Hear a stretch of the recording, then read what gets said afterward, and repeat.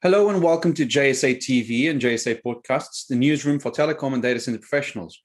I'm João Marques Lima. Joining me today is Peter Hannaford, Senior Partner at executive search company Portman Partners. Um, Peter, welcome to JSA. I know this is a bit of a delicate moment because you're talking just a couple of days after the Euro Championships. but how are you? yeah,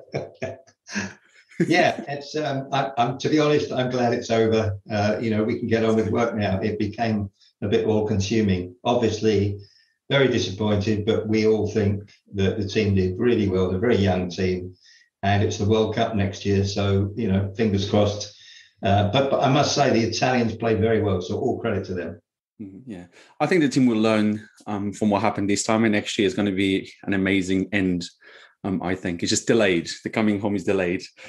um, but look, talking about our industry now, um, I mean, you're an expert when it comes to finding talent. Um, and that's that's what you do for living as well. So, what are the biggest hurdles in our space today when it comes to finding talent? Um, I, I, suppose uh, you know, as you say, I've been in it a long time, uh, more or less since since the word data center was started. So, what's that? Uh, Twenty five years ago, something like that. Um, so, I know a lot of people. Um, finding uh, you know, finding the people isn't the problem, um, but bearing in mind that they're all, you know, passive, what we call passive high performers. They're they're not looking to move, but they're at the top of their their top of their tree. The problem is always uh, convincing them to move. You're selling them a, you know, a dream, if you like. You're selling them the opportunity of a better job. So we have to know uh, the the client, our client, very well, and we have to be convinced uh, that it would be a good move for this particular candidate. So yeah, the, the challenge is getting them interested in the role, persuading them it's a better move. You know, this is a company with great people. Uh, you know, it's a great company. Uh, and potentially, you know, a decent compensation as well. That's the challenge. It's just it's just convincing them that this is a good opportunity. It's making dreams happen even without the people knowing they have a dream like the one you're trying to tell them. So, yeah, we create dreams. Yeah, that's a good. I'll put that in there on our. Write it down. Write the tagline down. Yeah, thank you for that. um, but look, a big part of the discussion today, when it comes to staff as well, it's all around inclusivity and diversity. Um, from a recruitment standpoint, how is that kind of being embedded into what you're doing and what the industry is doing um, on the rec- recruitment front? Oh, it's massive. I mean, it's it's you know there's four uh, you know we, we work in digital infrastructure. Um, that's all we work in but we focus on leadership uh, on on people with a passion for sustainability and uh, and diversity. It is it's hmm. absolutely huge. And it really was uh, something that that kind of um, you know an epiphany for me a couple of years ago was was realizing that when we talk about diversity we're talking about diversity of thinking. It isn't necessarily ticking boxes as to ethnicity or gender.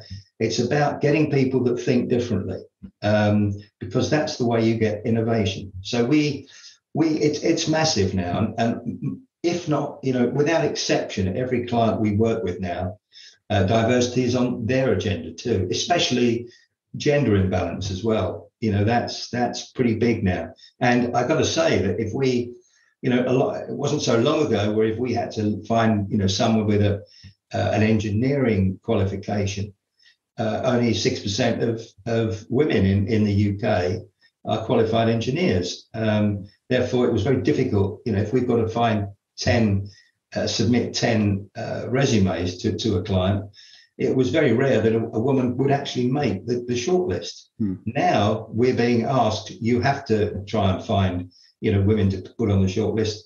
And if there were if there were ten CVs and they were all equal, I think that you know today the woman would get the job. Hmm.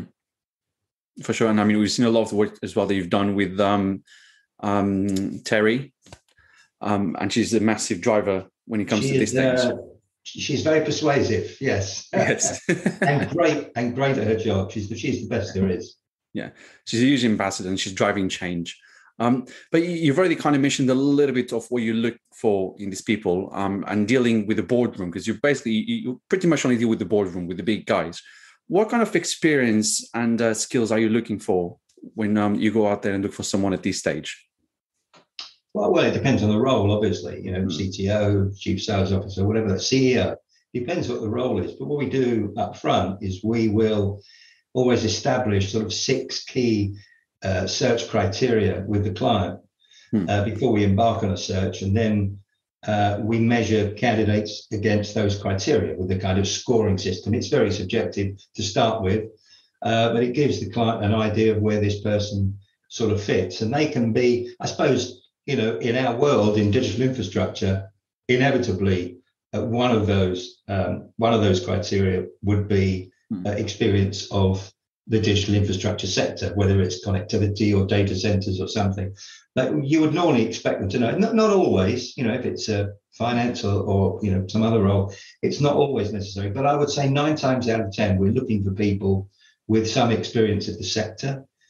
Um, and because it's a leadership role, um, we're we're looking for people that, that I, I, I would say make what we call immediate impact. So because this person is going to be a, a leader, uh, you have to ask the question, you know, what is your impression when you meet this person for the first time? You know, how do they look, act, speak, and listen?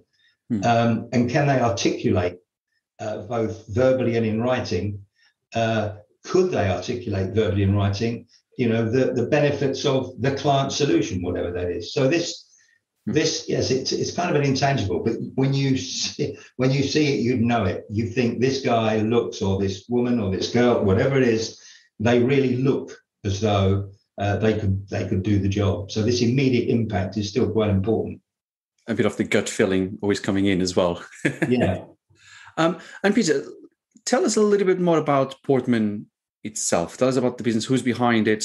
Um, of course, you're a key piece of the, the, puzzle here, but tell us more about Portman and what you got planned for the future in terms of company.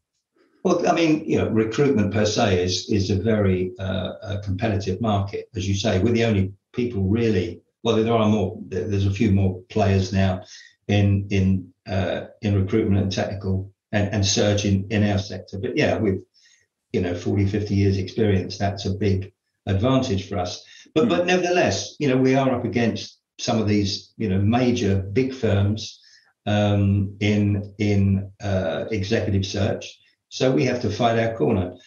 Therefore, we're a, we're kind of in a state of con- continual improvement. Really, um, we have to make the, the whole process, um, you know, easy and efficient we're off to a head start because we know the industry and we will probably know the client. So we don't spend a lot of time you know, finding out about the job. So that's pretty quick. But we're also looking to make Portman, if you like, uh, the portal, the go-to place for uh, information uh, on uh, on the sector and developments in the sector worldwide. So we want we want mm. people to come to us because we've got all that knowledge about the industry and about the people in it and about the companies in it and what they're doing. You know, we, we want to make that the uh, we want to make us the go-to firm. You come to us for the information, and that is all going to be put uh, on our website uh, with you know videos and and podcasts like this as well, um, uh, which will drive the need to find the, the absolute best talent appropriate to the client's business, and it's all about you know the right person in the right company. Hmm. So, are we going to see more people, say in Asia, more Portman partner people in Asia um, uh, and other yeah. continents? Well, we already have somebody in Asia, so we've got someone in uh, in Singapore, uh, and we have someone in London. I think the next place we will have somebody is probably in the US. We don't have it. I tend to look after the US myself. I have somebody else that majors on Europe, somebody that majors on Asia, but I'm I'm kind of uh, you know behind it, helping with with research. But yeah, I think the US is probably the next the next place where we'll have uh, some form of um, beachhead. Yeah. I look forward to seeing who that is. um, and Peter, if people want if people want to find out more about Portman Partners or get in touch, where could people go to um, to check out more? Uh, well, the website. So uh, we're trying to make the website the central repository for information uh, and for uh, uh, blogs. We, we, we, we tend to we like we like to store them in what we call a library. So it's a permanent place you can go and check up on on various uh, on various things. And we have you know, people like Terry and and you know people like Ian Bitterlin who've always got something to say about something. Uh, we will we will give them a voice uh, on on our website to be able to articulate you know mm. whatever whatever's in their mind at the time. Uh, but of course, but we also use LinkedIn. Our LinkedIn page is probably the place uh, where we post all the latest developments and information. So um, yeah, I think uh, following us on if you follow us on LinkedIn, you'll be kept up to date uh, with all the latest stuff that we're doing. Hmm. I definitely am. So that's that's how I keep track. And that's how I'm going to keep track of this new US person when that happens. Um, but Peter, thank you so much for talking to us. Um, and thank you, our viewers, for tuning into JSA TV and JSA podcasts. And don't forget to check our social media channels for more content. Until next time, happy networking.